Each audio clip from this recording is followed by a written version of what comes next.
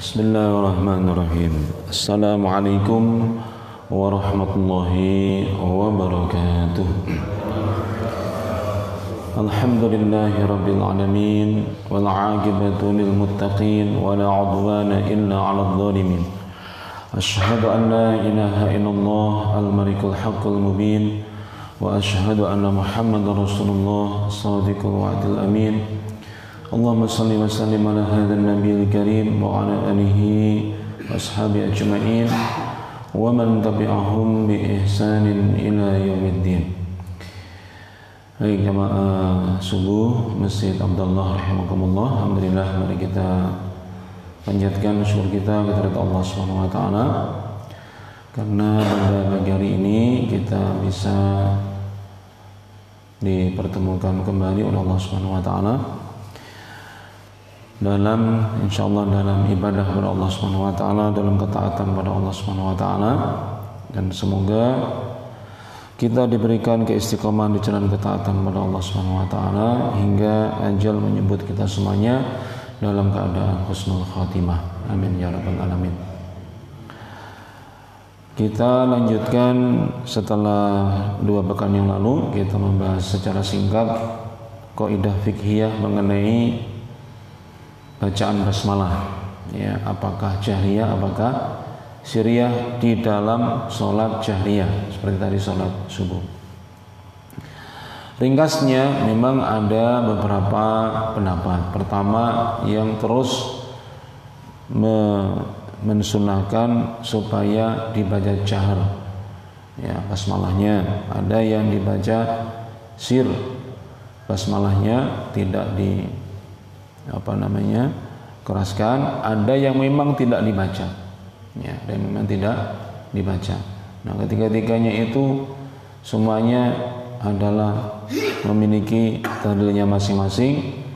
Meskipun disebutkan misalnya dari empat madhab itu hanya eh, madhab asy-syafi'i yang mensunahkan untuk mengeraskan. Tetapi jumhur dari ulama madhab itu menyatakan lebih sering untuk disirkan makanya mungkin kalau jangan pernah dengar di Masjid Istiqlal dulu zamannya saya sudah itu datang ke Indonesia beliau biasanya tidak membaca secara jahar tetapi ketika menjadi imam di Istiqlal beliau membaca jahar ya.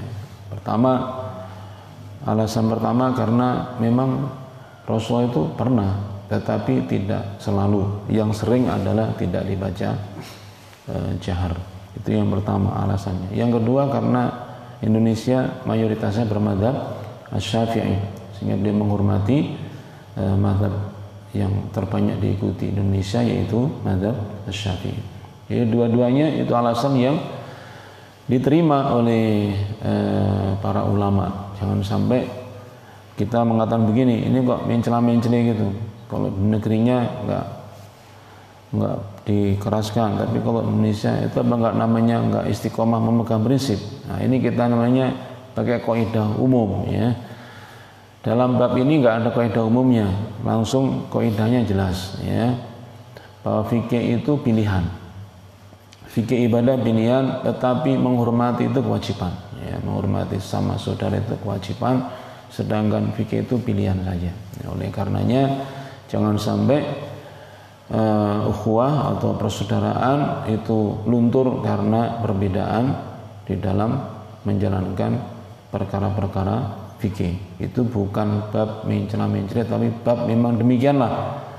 Ya para ulama itu memberikan teladan kepada kita antara memegang prinsip apa yang diyakininya dengan bertasamuh atau bertoleransi terhadap pendapat yang berbeda bahkan sampai mengamalkannya. Mengamalkan yang berbeda daripada dirinya ketika berada pada suatu komunitas yang berbeda dengan apa yang selama ini dijalaninya. Itu hal yang bukan hal yang boleh tapi memang demikianlah harusnya sebagai seorang muslim. Baik. Nah selanjutnya kita bahas ya di dalam kitab tafsir ini tentang keutamaan atau fadilah basmalah bukan fadilah Al-Fatihah tapi fadilah basmalah ya.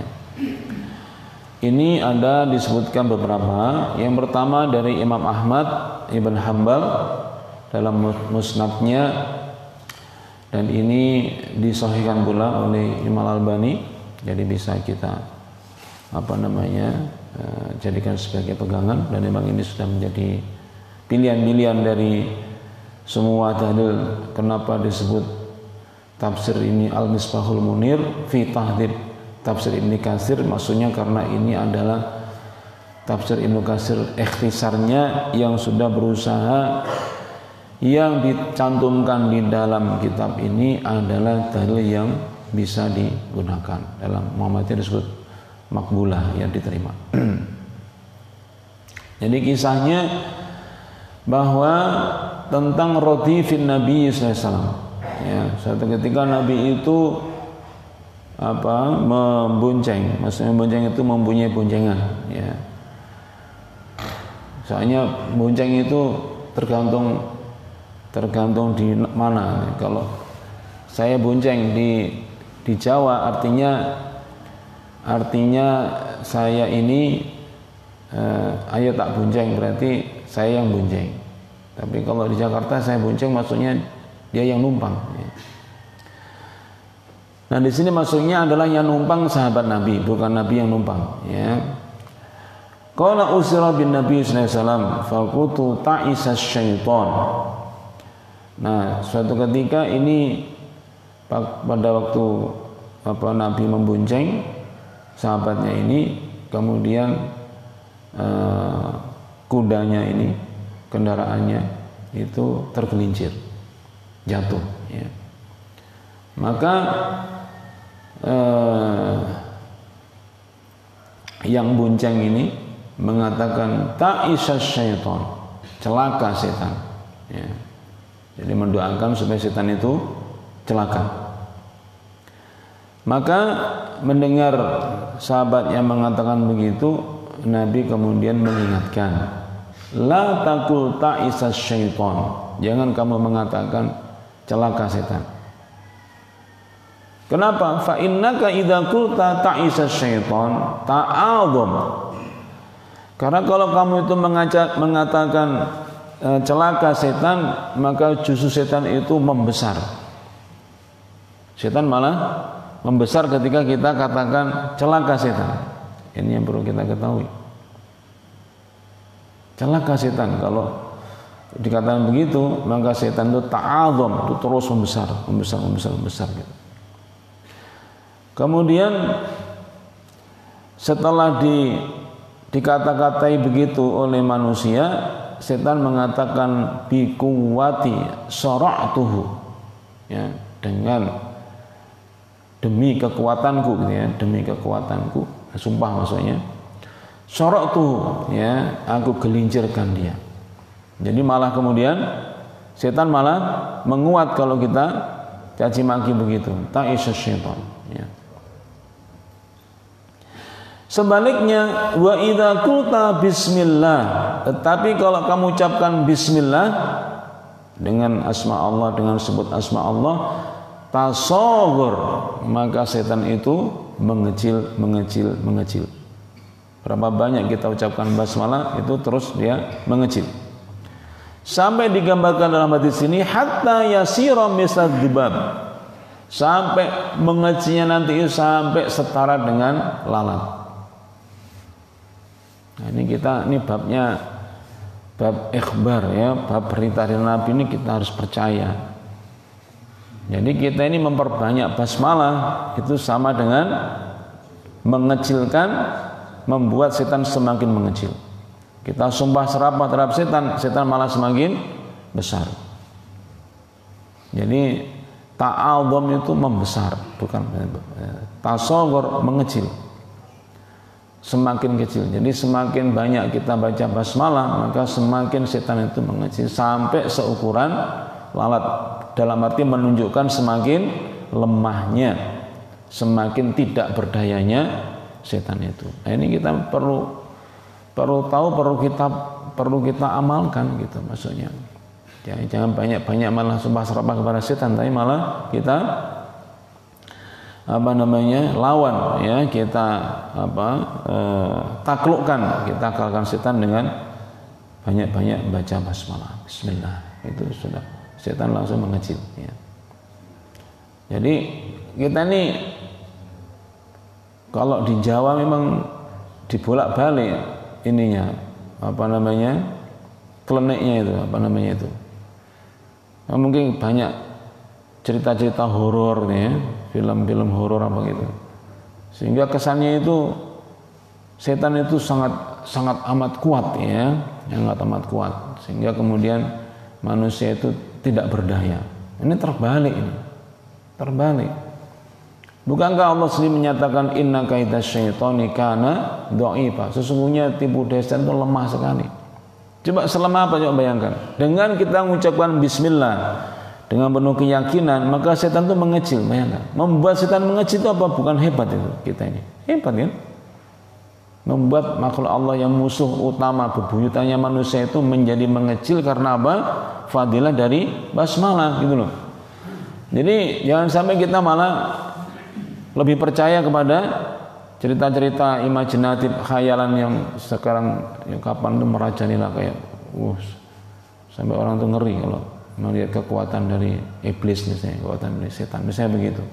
Ini kita kembalikan kepada akidah yang benar, yang lurus, ya, bahwa justru memperbanyak basmalah itulah yang betul-betul terbukti bahkan sampai secara fisik Nabi itu sebutkan mengecil sampai sekecil dubab yaitu lalat. Nah, ada juga kisah yang lainnya Eh, dari Ibnu Mardaweh dalam tafsirnya tentang Usama ibn Umair. Dia mengatakan kuntu radifan Nabi sallallahu alaihi wasallam Ya, saya pernah membonceng Nabi SAW kemudian dia sebutkan kisahnya tadi itu yaitu apa jatuh kemudian dia mencaci setan ta'isa syaitan begitu. Maka Nabi sabdakan la takul jangan kamu berkata begitu. Jangan berkata begitu karena apa? Fa innahu yata'adhamu hatta yakuna kalbait.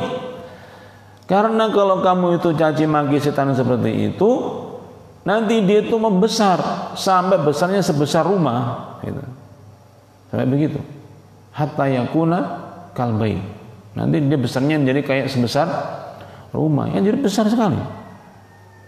Artinya membesar gitu. Karena justru karena kita caci maki. Karena apa? Karena harusnya malah kita eh, lawan dengan Bismillah. Ya, Bismillah. Maka itu malah mengecil menjadi sebesar dubab atau sebesar sebesar lalat. Nah itu adalah bagian dari minta siri barokati Bismillah. Ini luar biasa. Ya, fadilahnya basmalah itu sampai seperti itu. Dengan menyebut asma Allah itu betul-betul uh, bisa menundukkan, menaklukkan setan itu sendiri ya. Makanya mungkin ada bertanya terus kita nggak boleh nyanyi maki setan? Emangnya kalau tuntunan kita itu kalau kita merasakan adanya gangguan bagaimana? Seperti yang pernah dialami oleh apa Utsman ibn Affan radhiyallahu taala anhu. Yang katakan ya Rasulullah saya merasa ketika sholat tadi eh, saya menjadi lupa bacaannya saya merasa itu diganggu sama setan. Maka Nabi kemudian katakan, iya kalau kamu diganggu seperti itu, maka mintalah perlindungan kepada Allah. Jadi diganggu sama setan bukan kita caci maki, tapi kita tuntunannya apa?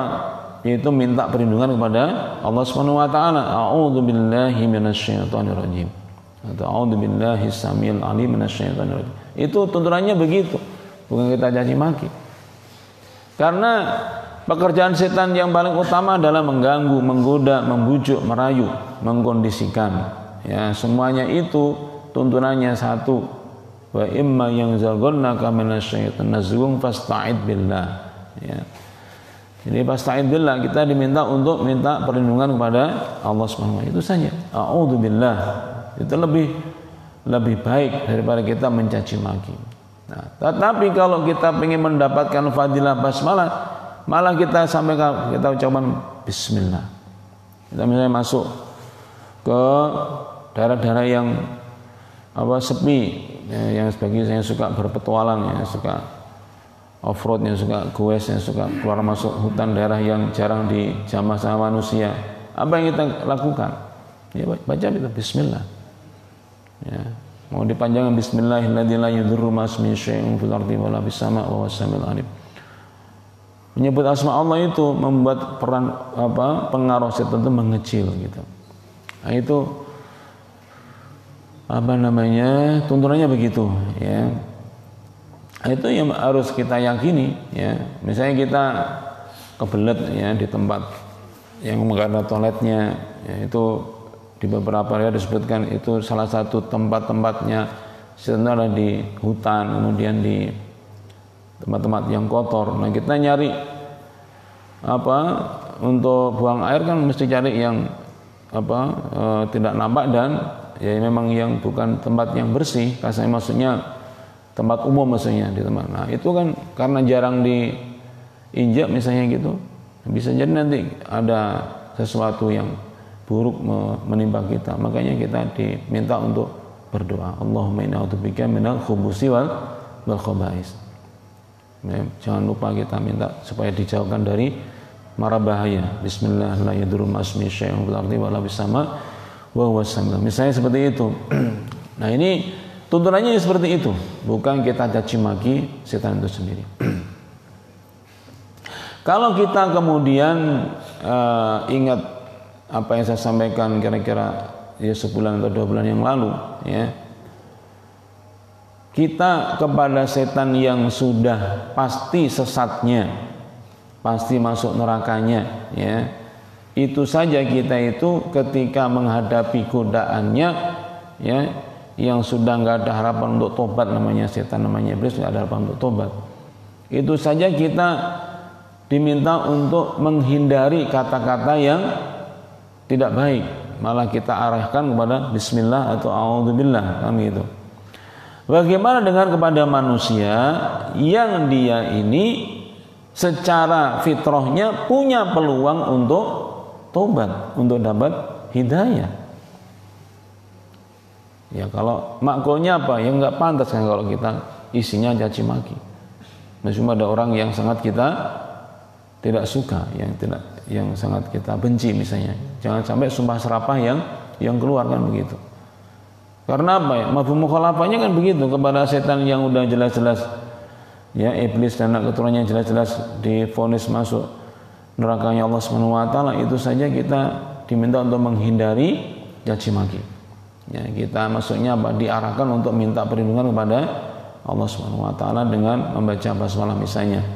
Gimana kalau kita dengan dengan manusia jangan sampai kita malah terbalik-balik. Nah sekarang ini biasanya kita ini di medsos ini ganas-ganas ya. Saya khawatir kita ini di dikondisikan sama buzzer ya bukan bukan manusia. Saya itu selalu mendapatkan apa WA nyelonong yang isinya itu kayak provokasi terus. Memprovokasi supaya mengucapkan kata-kata yang kotor sumpah serapah ya menebar kebencian. Ini saya melihat kayak bukan manusia itu kayaknya emang mesin yang dipakai untuk memprovokasi umat ini. Jangan sampai kita kalau urusan begituan jangan sampai kita malah larut. Kita harus tahan diri ya tahan diri.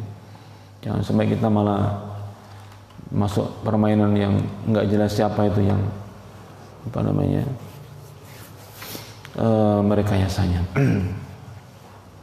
nah lebih lanjut kemudian satu paket dengan keutamaan dari basmalah itu adalah istibabuha fi bidayati kulli amalin. Bagaimana uh, basmalah itu dianjurkan untuk diamalkan, dilafalkan, diucapkan setiap kita memulai suatu pekerjaan, suatu amal. Ya. Walihada tusahabbu fi awali kulli amalin wa qaulin. Dalam setiap perkataan perbuatan disunahkan dianjurkan kita selalu mengawalinya dengan basmalah. Wa tustahabbu fi awal khutbah. Misalnya ketika akan berkhutbah ya. Ketika kita masuk ke toilet atau kamar kecil ya Demikian juga ketika kita akan berwudu, ya, misalnya begitu, ya, karena khusus untuk wudu misalnya ada dalilnya la wudu liman lam yadkurismallahi alaihi. Enggak ada wudu bagi orang yang tidak menyebut asma Allah atasnya. Maksudnya tidak sah wudhunya kalau tidak diawali dengan basmalah. Demikian juga ketika kita makan. Ya, jangan lupa untuk menyebut asma Allah Subhanahu wa taala. Termasuk ketika lupa. Ya, lupa eh, sudah makan baru lupa, kemudian eh, lupa tidak baca basmalah sudah di tengah-tengah baru ingat maka kita juga eh, disunahkan untuk eh, membaca basmalah. Nah, tetapi khusus untuk mengawali makan ini masih terus harus saya ingatkan karena kita masih sering tidur ya kalau urusan makan ini. Salah satunya dalil mengenai bagaimana kita akan makan itu ya dari Abu Salama, Umar bin Abi Salama. Yang katakan ketika itu ya Rasulullah apa melihat ya eh, Umar bin Abi Salama itu makannya ya karena mungkin masih kecil ya. Uh, ya tidak baca basmalah kemudian juga ngambilnya uh, semaunya yang dari mana-mana diambil semuanya. Maka kemudian Rasulullah menasihati kul bismillah. Dalam riwayat ini disebutkan samillah sebutlah asma Allah wa kul biyaminik itu sudah jelas ya. Jadi dalilnya itu sore dalilnya itu sore dalilnya itu jelas. Jadi dalil itu ada dua. Ada yang sore ada yang gue sore yang sifatnya umum. Dalil sore itu contohnya ini. Adab makan. Itu dalilnya sangat jelas. Itu apa? Samillah sebut asma Allah. Suruh nyebut asma Allah kan jelas. Hanya mungkin ada yang bedanya cara nyebutnya isinya sebutannya gimana ada yang bismillah, ada yang bismillahirrahmanirrahim. Itu semuanya semuanya samillah namanya menjalankan perintah Rasul samillah, sebut asma Allah. Yang kedua, wakul biyaminik dan makanlah dengan tangan kananmu.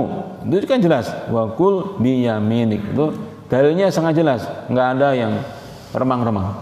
Nggak ada yang butuh penafsiran. Yaitu makanlah dengan tangan kananmu. Wakul mimma yalika. Nah, yang ketiga ini jelas tetapi perlu tahu asbab urutnya. Ya, sebab-sebab kenapa Nabi bersabda demikian. Dan makanlah yang terdekat. Makanlah yang yang terdekat. Maksudnya adalah e, karena kebiasaan di sana itu makannya adalah bersama kemudian pakai nampan yang besar.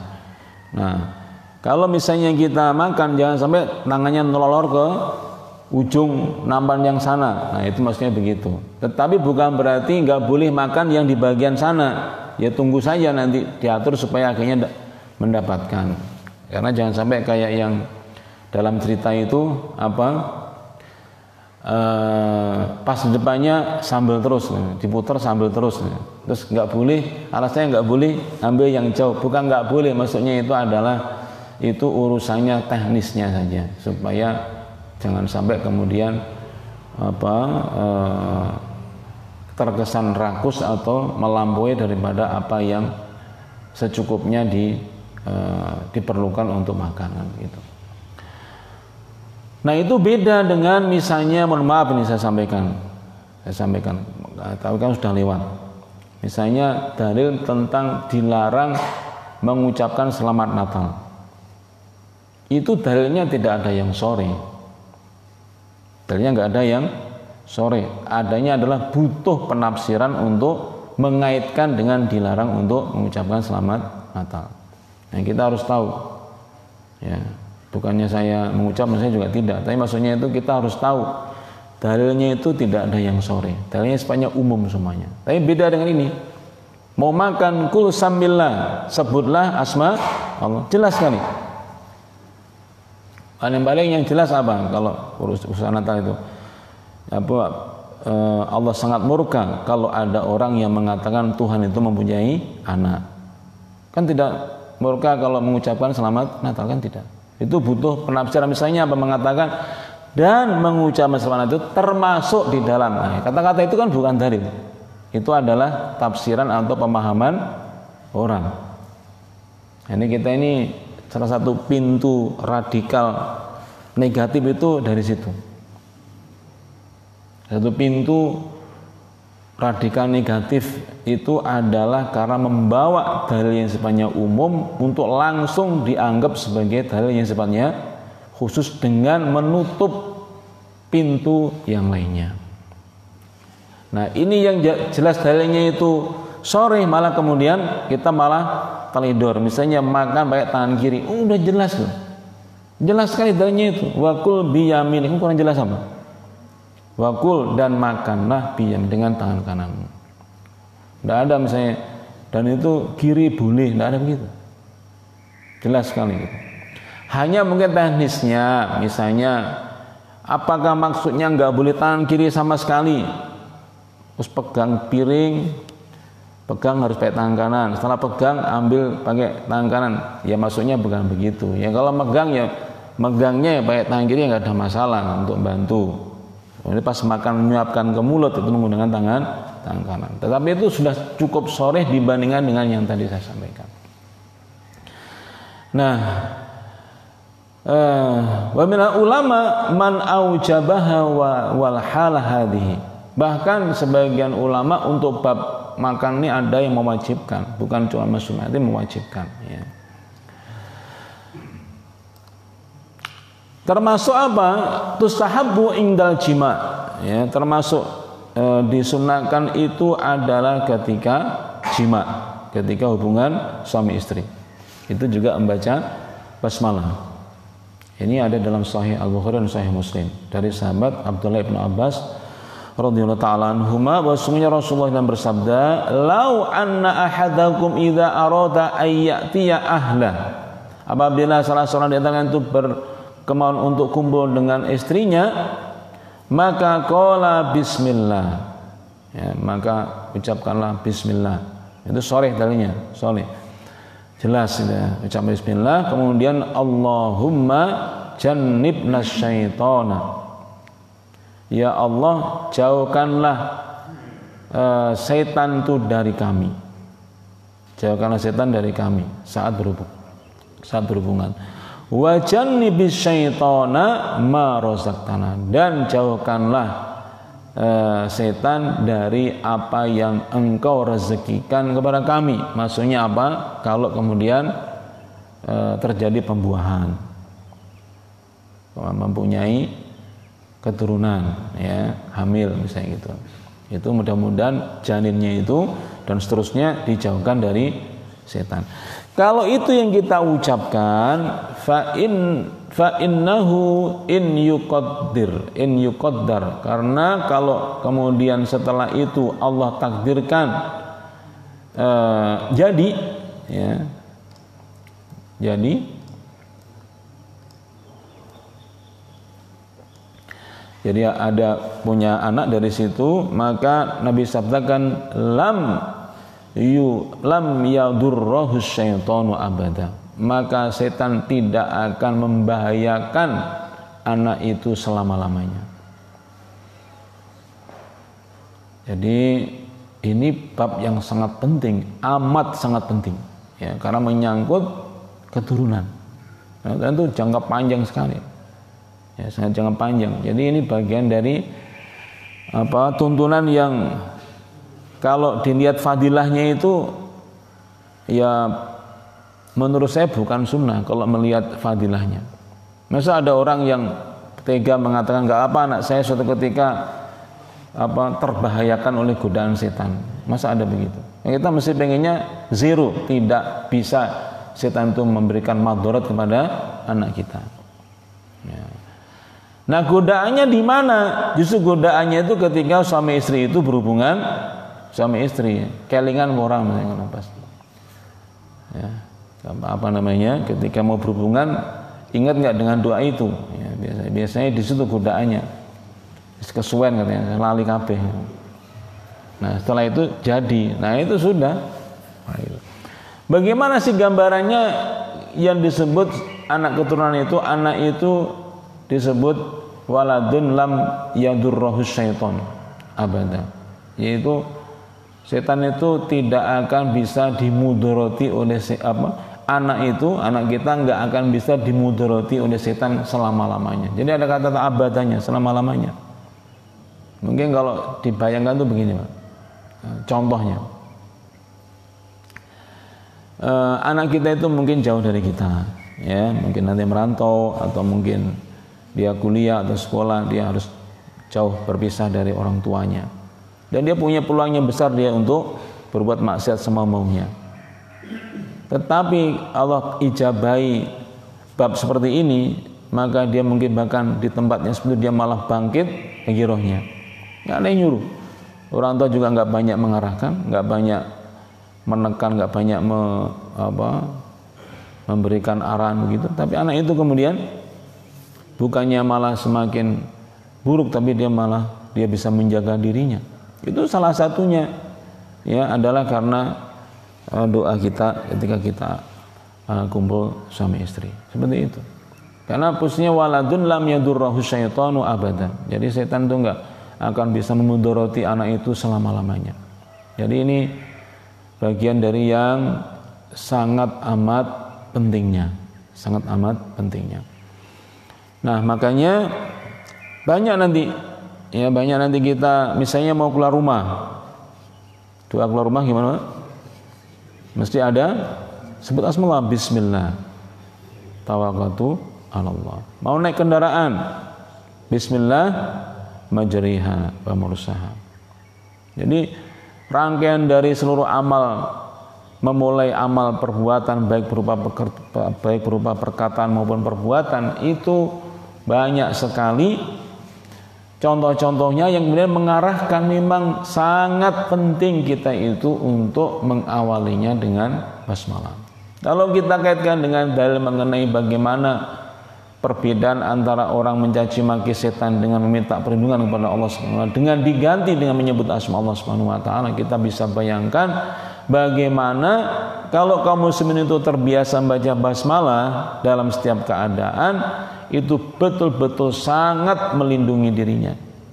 Ya, sangat melindungi dirinya dari berbagai macam godaan setan yang akan menjerumuskan menjerumuskan kita.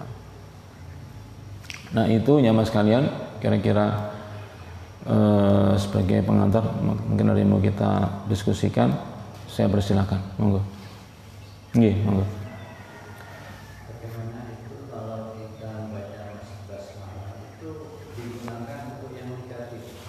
Contohnya?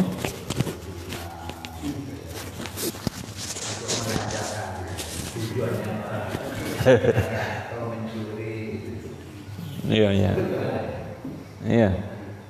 Itu termasuk di antara kezoliman gitu, Pak. Kezoliman ya, meletakkan yang tidak pada tempatnya. Itu jelas buat usai fi ghairi mahalli, meletakkan satu yang tidak pada tempatnya yaitu apa? Apa namanya Bismillah. Ya ya Allah saya akan korupsi. Ya, misalnya begitu. Bismillah. Boleh ditanya dengan puasa Senin Kamis dulu misalnya. Itu namanya meletakkan sesuatu yang tidak pada tempatnya. Ya. Nah apa ada orang seperti itu? Ya mungkin adanya itu mungkin bukan begitu pak. Mungkin maksudnya bukan begitu. Dia itu antara takut dan berani mungkin gitu. Di antara takut dan berani berbuat jahat.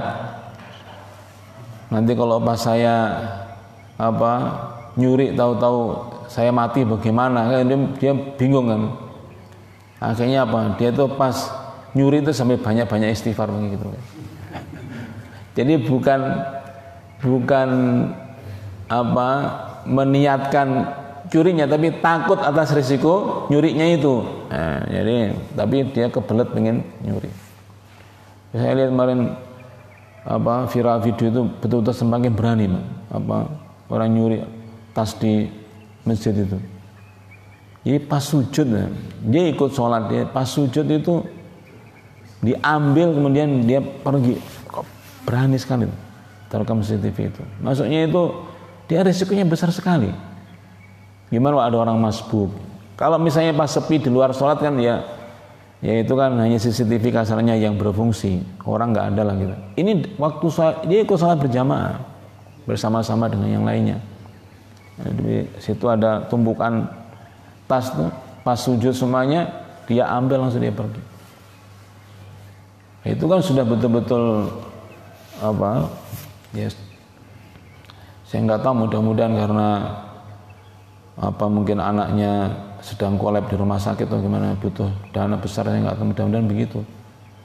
Karena saking bingungnya nggak tahu caranya solusinya. Tapi kalau dia punya memang punya memang dia jahat ya memang itu sudah sudah mengeras sudah menjadi batu tuh apa namanya hatinya itu. Udah nggak punya perasaan sama sekali. Jadi begitu Pak, udah jelas-jelas bagian dari kedoliman. Dan kita bisa jadi juga melakukan hal seperti itu meskipun temanya berbeda. Makanya di antara pengantar doa itu bagi kita semuanya itu diawali dengan i'tiraf dulu, dengan mengakui dulu bahwa kita ini banyak dolimnya. Dengan apa? Dengan Rabbana zalamna anfusana wa ilam taghfir lana wa tarhamna lanakuna minal khasirin. Itu bukan doa tapi itu etiraf. Itu pengakuan. Jangan diamini maksudnya. Kalau kalau ada yang berdoa Rabbana dzalamna anfusana wa ilam taghfir lana wa tarhamna itu jangan diamini itu itu itu belum doa itu akan doa itu saya pengakuan dulu ya Allah ya Rob kami sesungguhnya kami telah mendolimi diri kami sendiri amin jadi ini piye maksudnya itu baru ngaku, baru ngakunya. Sampai selesai itu pengakuan semua itu. Wa illam taghfirlan dan jika tidak engkau ampuni kami wa tarhamna dan tidak engkau kasih sayangi kami lanakunana minal khasirin. Tentu kami termasuk orang yang rugi. Itu pengak, baru pengakuan saja itu, bukan permintaan. Permintaannya apa setelah itu biasanya gitu. Ya. Sama dengan uh, di antara makbulnya doa itu diawali dengan pengakuan yang lainnya. La ilaha illa anta subhanaka inni kuntu minadh dhalimin. Itu jangan diamini Pak. Karena itu bukan bukan doa ya. Tidak ada Tuhan kecuali Allah kecuali engkau. Sungguh kami ini termasuk orang yang zalim. Terus kita amin. Ya gitu. Nyambungnya biar Pak? Nyambungnya biar orang ngaku diamini gimana? Karena itu masuknya adalah tahmid, solawat, i'tirab itu adalah salah satu pintu untuk istijabahnya doa. Ini belum doanya, setelah itu baru kemudian berdoa. Nah, kita ini kenapa disuruh i'tirab mengakui seperti itu? Karena yang kita itu banyak dolimnya. Kita banyak dolimnya harus kita akui kita ini banyak dolimnya. Maksudnya yang kita dolimi siapa diri kita sendiri. Waktu misalnya.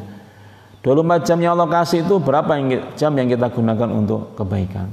Kan dolim namanya yang tidak baik kan boleh ya. Allah kasih kesehatan Allah kasih rezeki itu berapa persen yang kita gunakan untuk kebaikan untuk yang diri Allah SWT yang tidak itu kan dolim namanya dolimi siapa? dolimi dirinya sendiri gitu maksudnya nah makanya itu eh, di samping kita juga harus tahu kedudukannya tapi alangkah baiknya juga kita pakai untuk introspeksi diri ya siapa tahu kita juga yang melakukannya atau mengamalkannya. Nonton lagi? Ya, silahkan.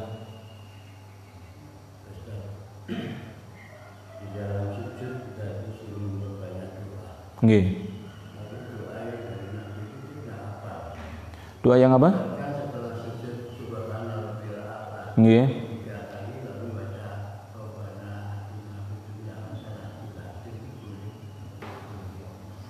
Pertanyaannya boleh enggak gitu?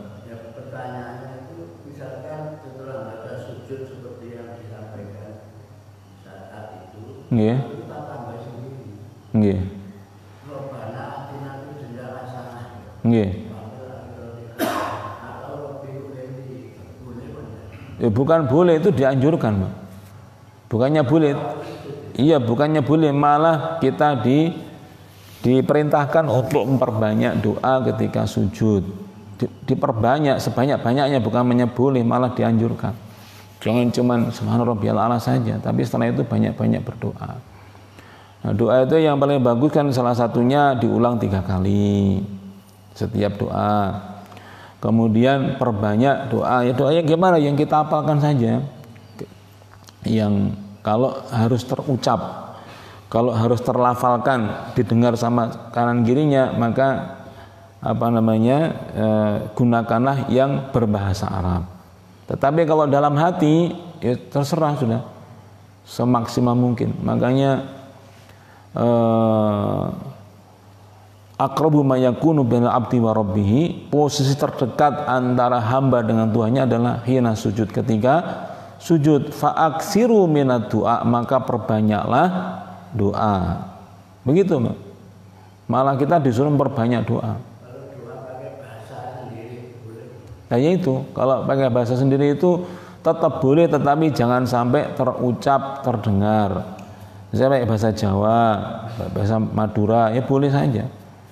Tetapi jangan sampai terdengar, cukup di dalam hatinya, didengar dirinya sendiri maksudnya. Jadi kata-katanya jangan jangan bolehkah tapi bukan boleh Pak. Memang itu kita itu diperintah oleh Nabi fa'aksiru minat doa perbanyaklah doa. Itu kan perintah, bukan boleh kamu berdoa, bukan, tapi perbanyaklah doa. Makanya di antara tandanya orang mengerti hadis itu dia akhirnya biasanya memper, memperlama sujud. Cuma memperlama sujud ini memang ada pembahasannya. Pembahasannya bagaimana? Kenapa sih kebanyakan orang itu kaum muslimin ya? Itu kalau yang dilamakan kok cuma sujud terakhirnya. Kayak gitu Pak ya. Padahal perintahnya itu setiap sujud. Kenapa kok umumnya pada prakteknya pada umumnya itu yang lama itu hanya sujud terakhir. Nah, itu kan bagi yang keras dibilang itu bid'ah. Karena tuntunannya setiap sujud. Kenapa kok hanya sujud terakhir yang lama? Terus dianggap itu menyimpang dari sunnah. Babnya bukan bab seperti itu. Silakan jangan coba kalau nggak percaya. Jangan yang misalnya belum terbiasa untuk sujud di setiap eh, memperlama sujud set, eh, di setiap sujud yang kita lakukan. Dengan paling-paling akan lupa ini rokaat keberapa. Itu kalau kita mau jujur ya, misalnya baru pertama, misalnya rokaat pertama kita langsung sujud lama. Bikin wis rokaat yang biru ya. Akhirnya lamanya dikira khusuk, ternyata lamanya mikir ternyata lama nih iki iki bang apa wajah lungguh bawa yang ngadeg ya. Lama buh dikira lihat buh kok khusus sekali. Padahal dia lagi mikir iki jadi piye iki jadi ya itu nguijir Oh iya, ingat saya rakaat pertama, tapi pertama kedua ini sujudnya. Makanya suwi, suwi sujudnya. Nah, karena pengalaman banyak begitu, maka akhirnya umumnya itu ngambil yang terakhir. Jadi bukan karena meyakini yang terakhir itu yang abdul bukan karena yang mampunya itu ya memperlama ya di di akhir saja gitu. Nah ini kita ini kadang-kadang kebablasan wabah disalah nih. Ya, itu salah nggak nyunah. Maksudnya bukan begitu. Karena emang itu butuh butuh apa ya orang yang hebat untuk bisa meratakan semua sujud itu bisa lama gitu. Makanya nyicil kayak isone khusuk ya terakhir ya terakhir nggak apa-apa. Terakhir saja. Yang penting jangan meyakini bahwa yang dimaksud adalah sujud terakhir saja. Yang penting jangan meyakini begitu tapi mampunya saya memperlama sujud hanya di di terakhir saja. Itu tidak ada masalah. Ngerti lagi jadi di nggih.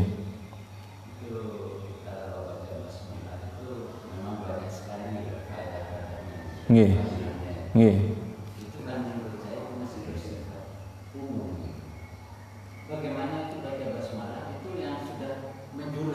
Contohnya? Contohnya kalau kita umpamanya anak sekolah mau ikut ujian supaya lulus itu baca basmalah berapa kali?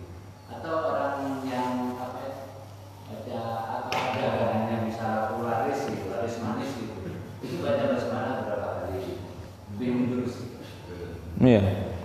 Jadi sebenarnya dari tadi sudah menjurus tadi, Dari tadi sudah menjurus sebenarnya. Cuman jurusannya belum banyak karena contohnya baru bab begitu. Tapi sebenarnya sudah sangat menjurus. Sudah betul-betul to the point. Ya, mau pengen punya anak lepas dari godaan setan jurusnya begitu. Langsung kan? Langsung jurusannya begitu.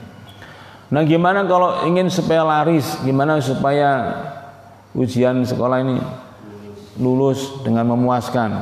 Ya saya itu saya pernah ya namanya waktu itu tamat SMP saya tamat SMP diajak sama teman saya ayo nanti ini Pak Yai nyambung. Ada karena ujian. Biar lancar. Oh gitu. Oh iya. Saya naik sepeda ontel dari Kanigoro ke Selopuro artinya di Selopuro kiainya itu. Sampai sana ketemu sama kiainya. Nggak boleh. Karena ya kalau badai nyuwun apa amalan soalnya kalau badai ujian oh ngono. Eh nyedekor ini wes kita di mau dikasih apa gitu kan. Udah deket saya pengen roh amalannya enggak tak tak dudoi amalannya amalannya sinau kan ndak mulai sinau kan katanya wah Wah aneh-aneh rek arpe gelek suwe gelek macam-macam apa kan ini. Ya gitu. Suwe ternyata kon sinau. Ya. Akhirnya pulang dari situ, gitu nih, ya mbak aku ya ngerti jarine kok golek suwe ning kene baru malah senen kon sinau katanya. Nah, itu kalau yang tidak boleh dilupakan itu ya adalah usaha itu sendiri gitu. Kan faktor-faktor kenapa laris kenapa lulus itu kan ada yang faktor sifatnya itu ikhtiari itu harus dilakukan kan begitu.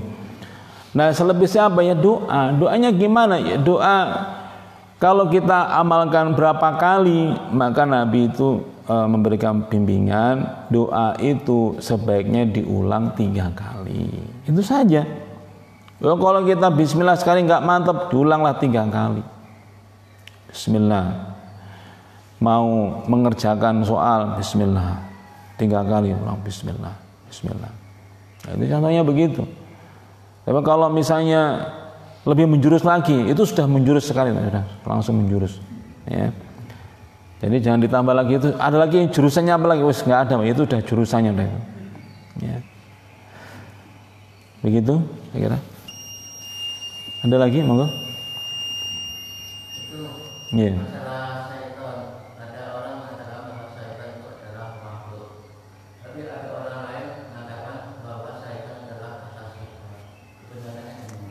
Iya. Jadi setan itu apakah makhluk, apakah sifat? Ya, dua-duanya itu sama-sama benarnya bergantung kepada konteksnya. Misalnya ada ayat dalam surah Ibrahim itu wa qala syaitanu lamma qudiyal amru innallaha wa'adakum wa'tal haqqi wa wa'atukum fa akhlaftukum. Uh, dan seterusnya. Di situ disebutkan dan nanti di hari kiamat setan akan berkata setan di sini maksudnya adalah iblis makhluk maksudnya. Ya itu itu bergantung ayatnya atau apa namanya eh, konteksnya. Contohnya tadi, misalnya kalau kamu akan hubungan sama eh, istrimu, maka ucapkanlah Bismillah, Allahumma janibna syaiton. Maka setelahnya adalah makhluk. Ya, karena apa? Karena di ujungnya itu Nabi sabtakan karena kalau kamu punya anak maka dia tidak akan dimudoroti oleh setan selama-lamanya itu maksudnya adalah makhluk. Tetapi di dalam surah An-Nas misalnya disebutkan eh, kul a'udzu birabbin nas seterusnya begitu ya alladzi yuwaswisu fi sudurin nas yang membuat waswas kepada dadanya manusia minal jinnati wan nas. Jadi di situ jelas sekali maknanya itu adalah sifat yang menempel pada jin dan manusia itu setan. Oleh karenanya e, kedua-duanya meskipun kadang-kadang dibedakan ujungnya sama, kita ini diperintah untuk meminta perlindungan kepada Allah Subhanahu wa taala. Nah, misalnya eh, di dalam surah Al-Kahfi yang setiap Jumat atau malam Jumat kita baca itu eh, disebutkan langsung namanya iblis disebutkan kana minal jinni fafasako an amri rabbihi dia adalah iblis itu merupakan eh, apa namanya golongan dari jin yang dia itu fasik kepada Tuhannya. Jadi dua-duanya ada, dua-duanya setan karena disebut sebagai sifat, karena disebut sebagai makhluk wadak, maksudnya memang yang dia itu bukan semata-mata sifat, ya. Nah, terus bagaimana kita ini baik sifat maupun makhluk dua-duanya tetap di dalam posisi kita itu wa imma yang zagonnaka minasyaiton nazgung fasta'id billah. Sama-sama kita diminta untuk apa namanya meminta perlindungan kepada Allah Subhanahu wa taala. Ini sekarang saya ambil contoh eh, apa praktisnya yang lain yang menjurus ya, yang minta menjurus ya yaitu misalnya ayat tentang wattaba'u ma tatlus syayatinu ala mulki Sulaiman surah Al-Baqarah di situ disebutkan bahwa salah satu bentuk godaan setan itu adalah ma yufarriqu baini eh, bihi bainal mar'i wa zauji. Salah satu manuver godaan setan itu adalah berusaha untuk memisahkan uh, suami istri. Ya, itu pekerjaan dari setan adalah memisahkan suami istri. Gimana kalau kita dapat kompor-kompor, dapat gosip, dapat isu yang ujungnya nanti membuat kita ini pisah suami istri. Padahal kita tahu itu bukan makhluk, tetapi dia adalah dari manusia, tetangga atau teman atau siapalah gitu. Maka itu bagian dari setan. Jadi kalau kita itu diajak ngomong-ngomong suami istri isinya nanti bikin menjurus kepada perceraian, maka salah satunya kita harus minta perlindungan kepada Allah dari godaan setan. A'udzubillahi rajim. Karena ini sedang kerjaan setan sedang berjalan itu apa? Membuat supaya keluarga berantakan. Ya begitu. Itu salah satunya dengan meminta perlindungan kepada Allah dari godaan setan. Setannya berupa apa? Mungkin juga bukan makhluk halus tapi adalah kepada Allah dari godaan setan. Begitu ya. Ada lagi Pak? Sudah mau sahur ya? Sudah mau buka. Baik, saya kira uh, demikian yang bisa saya sampaikan. Semoga uh, bermanfaat apa yang kita bahas pada pagi hari ini dan yang benar datang dari Allah Subhanahu wa taala, yang salah dari saya sendiri. Semoga kita diperlihatkan oleh Allah Subhanahu wa taala yang hak itu hak dan kita diberikan kekuatan untuk mengikutinya dan semoga Allah berikan penglihatan kepada kita yang batil itu batil dan kita diberikan kekuatan untuk menjauhinya. Allahumma arinal haqqa haqqa warzuqna tiba'a wa arinal batila batila warzuqna istinaba kita akhiri dengan doa ghafar majelis subhanakallahumma wa bihamdika asyhadu an la ilaha illa anta astaghfiruka wa atubu ilaik. Wassalamualaikum warahmatullahi wabarakatuh